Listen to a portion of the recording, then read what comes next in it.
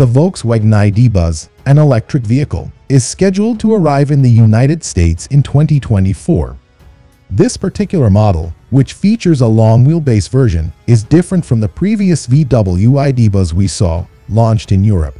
To give you an idea of what the US version will look like, we created a rendering based on a spy photo. We'll examine the US render and some of the color options and discuss how they differ from the European version. The main modifications were found on the sides of the car, with longer front and rear axle clearance and larger sliding rear doors.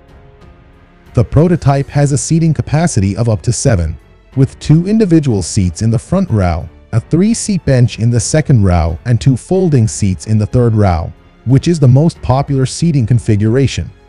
The long wheelbase model is approximately 5 meters or 197 inches long, compared to the shorter model's 4.71 meters or 185.4 inches, providing ample space for passengers and luggage.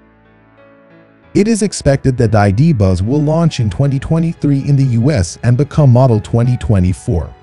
Thanks for watching, and don't forget to subscribe.